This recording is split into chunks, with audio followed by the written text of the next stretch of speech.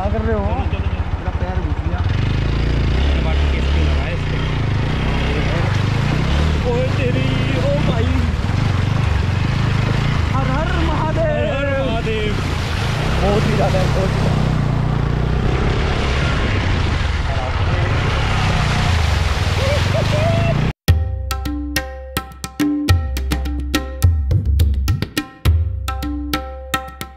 तो hello welcome back to my channel adventure traveller Saurabh तो आज के ब्लॉग की जो मैंने शुरुआत करी थी, वो करी थी दिल्ली से ऋषिकेश तक की और जो मैंने व्लॉगिंग स्टार्ट करी है, वो करी है हरिद्वार से ऋषिकेश तक की। और ऋषिकेश के लिए मैंने जो रूट लिया था, वो लिया था हर की पौड़ी के सामने से एक रोड जाता है, जो कि राजा जी नेशनल पार्क की तरफ़ से जाता है तो वो वाला लिया था थोड़ा एडवेंचर करने के लिए। उसमें हम लोगों ने काफ़ी एंजॉय किया और काफ़ी बढ़िया रोड है। अगर आप टू व्हीलर से हैं फोर व्हीलर से हैं तो उस रोड से आप जा सकते हैं।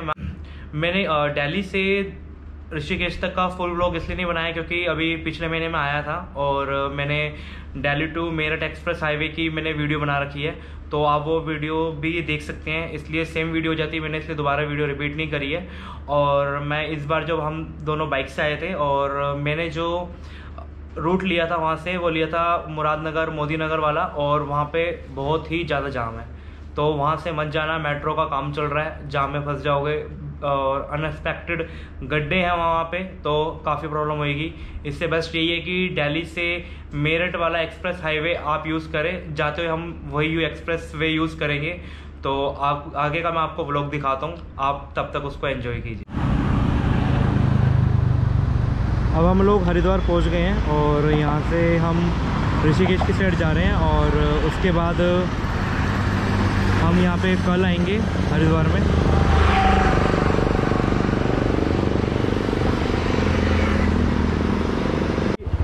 अभी हम लोग ये चीला डैम से जा रहे हैं ऋषिकेश की तरफ़, जो कि राजा जी नेशनल पार्क के पहाड़ की तरफ़ से है, क्योंकि हरिद्वार से ऋषिकेश के लिए हम पहले जो नॉर्मल रूट है, सबके लिए वहाँ से हम जा चुके हैं। तो अब हम आज ये वाला रूट अपनाएँगे और इसमें नया देखते हैं। तो यहाँ से अब आगे जा रहे हैं चीला डैम है पूरा। तो इस रूट पर हम आगे बढ़ते हैं और आगे आपको दिखाते हैं आगे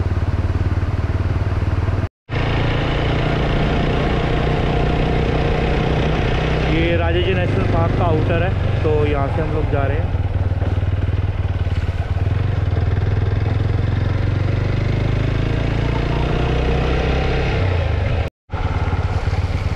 ये रोड पे पानी आ रखा है।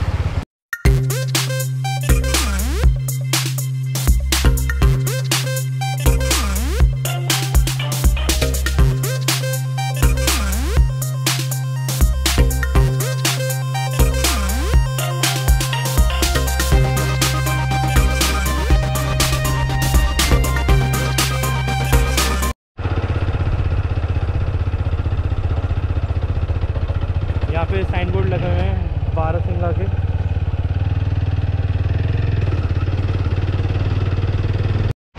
ये इधर की साइड में डैम बनाया हुआ है और काफ़ी सुंदर डैम है। और अभी हम सामने से आए हैं और इस रोड से हम आए हैं और अब आगे हम इस साइड जाएँगे। और ये सचिन भाई की बाइक है, अपाची 160 तो इस पर हम लोग आए हैं। सचिन भाई भी पैक हो रखे हैं। मैं भी पैक हूँ। तो अब हम आगे चलते हैं और आगे आपको दिखाते हैं।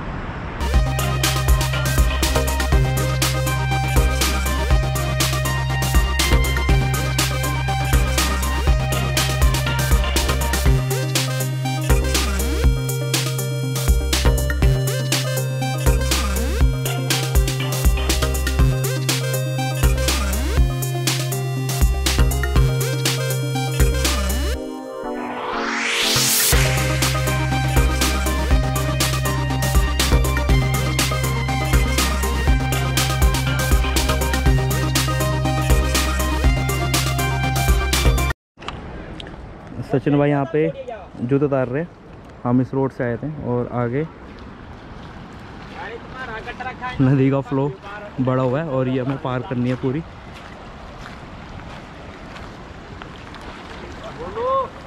पानी आगे जाके थोड़ा डीप है। तो अभी यहाँ से वाटर क्रॉसिंग करनी पड़ेगी आगे तक। और काफ़ी लेंथी है पूरा पानी। तो आगे का आपको दिखाता हूँ अभी। इतने में सचिन भाई रेडी हो रहे पैर इन्होंने जूते उतार लिए क्योंकि एक ही जोड़ी शूज़ लेकर आए थे। सॉक्स हैं हमारे पास, लेकिन शूज़ के बगैर काम नहीं चलेगा।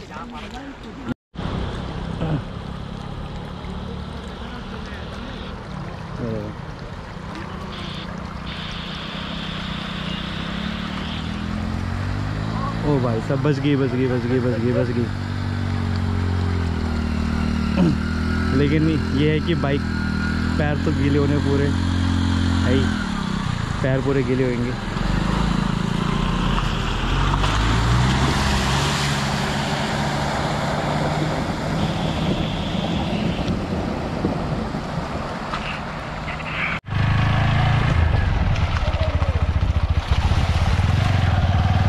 हर हर गंगे हर हर महादेव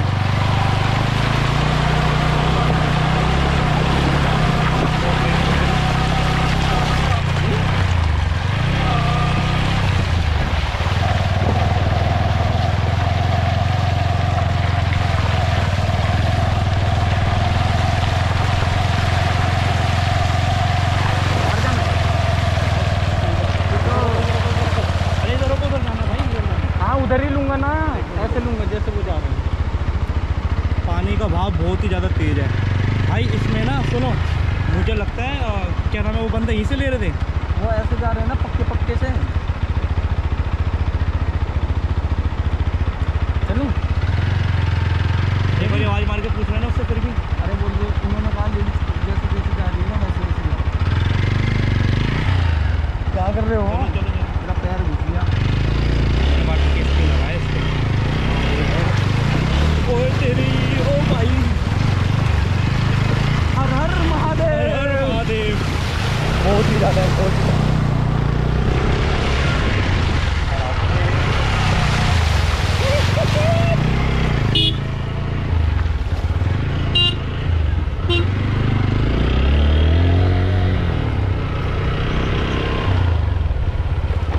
अब सचिन भाई पूरे रास्ते ऐसे जाएँगे। ये सचिन भाई ने जूते चप्पल उतार रखे हैं अपने और ताकि गीले ना हो और अच्छा है, हमने डिसीज़न सही लिया जूते उतारने का, क्योंकि गीला होना कंपलसरी था।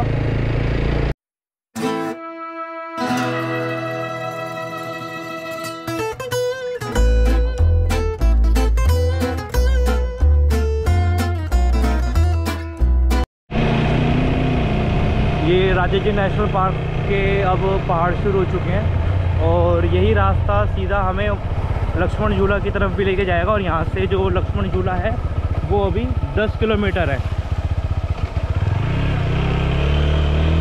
और यहाँ पे जगह जगह वैसे लिखा हुआ है कि रुकना मना है जानवरों की वजह से। तो इसलिए हम लोग यहाँ पे ज़्यादा नहीं रुक रहे, हम लोग सीधा से चलते जा रहे हैं यहाँ पे।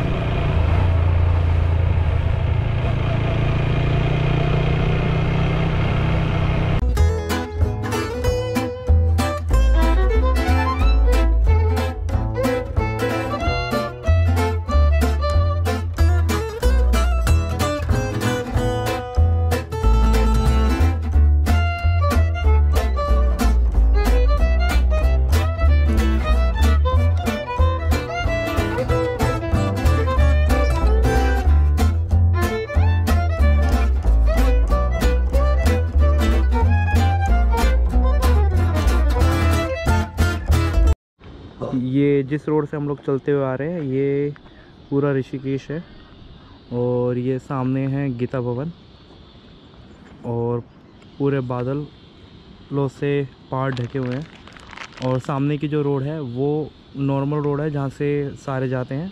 हमने राजा जी नेशनल वाली पार्क वाली रोड ली थी और इसी रोड से हम लोग अब सीधा चलेंगे। ये आगे की पूरी रोड है और यहाँ पे बाइक खड़ी हुई है अपनी और इसी रोड पे हम आगे चलेंगे। ये सामने की साइड में है ओशो का आश्रम और इस रोड से आधे किलोमीटर आगे जाके सामने की साइड में एक लोहे का पुल है, वो क्रॉस करके हमें फिर मेन रोड पे शिवपुरी की साइड जाके देखते हैं वहाँ पे क्या मिलता है रहने के लिए, फिर आगे का भी आपको दिखाते हैं।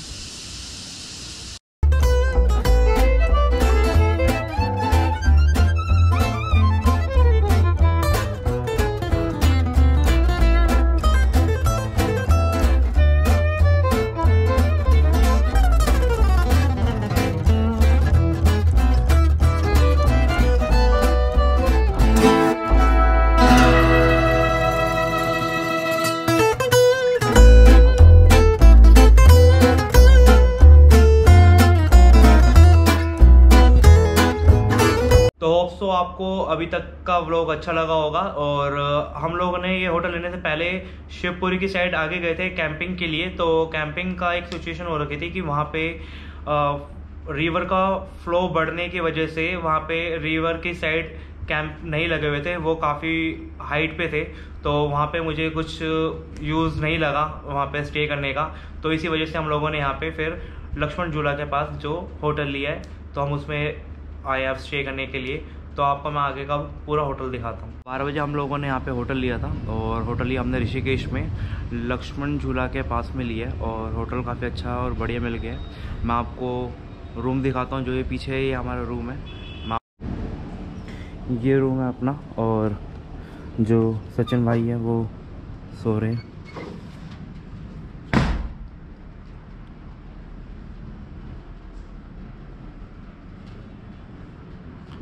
इसमें यहाँ पे किचन भी दे रखी है छोटी सी। खाना वाना बनाने के लिए। और सामने ये मिरर और वॉशरूम भी काफ़ी बढ़िया है। और सचिन भाई भी सो ही रहे हैं, जब से आए हैं।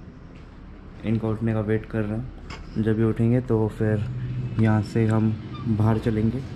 मैं आपको होटल के बाहर का व्यू दिखाता हूँ। होटल के बाहर का व्यू कहाँ है? और हमने कहाँ पे होटल लिया है एग्जैक्टली ये सामने की साइड में जो है, ये लक्ष्मण झूला है। और जो ही हमें होटल पड़ा है, ये पड़ा है हमें हज़ार रुपये का, क्योंकि अभी सीज़न नहीं है, आज थर्सडे है तो इस वजह से हमें ये हज़ार रुपये का पड़ा है। तो ये यहाँ का व्यू है।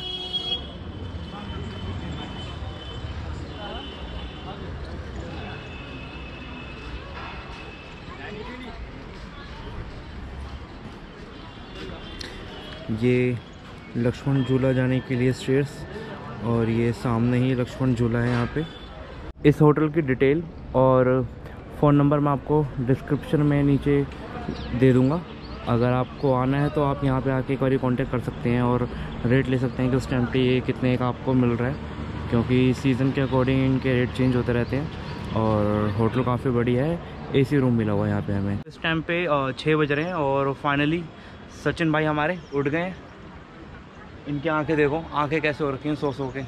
इनको इतना उठाया लेकिन उठे नहीं। और हम नहाने आ चुके हैं।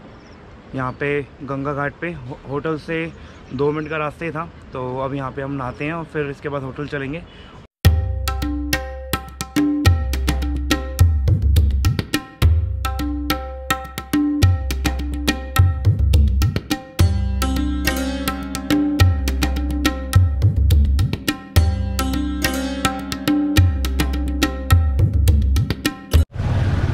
हम लोग होटल से भी निकल चुके हैं बाइक लेके और अब हम लोग जा रहे हैं जानकी झूले की साइड में।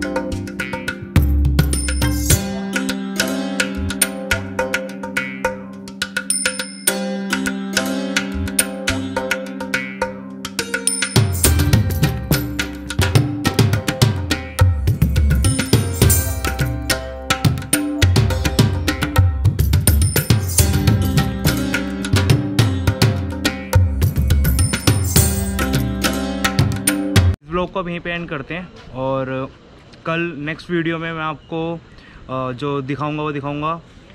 नील वाटरफॉल और हरिद्वार के साइड जाएँगे हम लोग। तो वो सारा आपको नेक्स्ट वीडियो में देखने को मिलेगा। और चैनल को लाइक करें सब्सक्राइब करें और शेयर करें।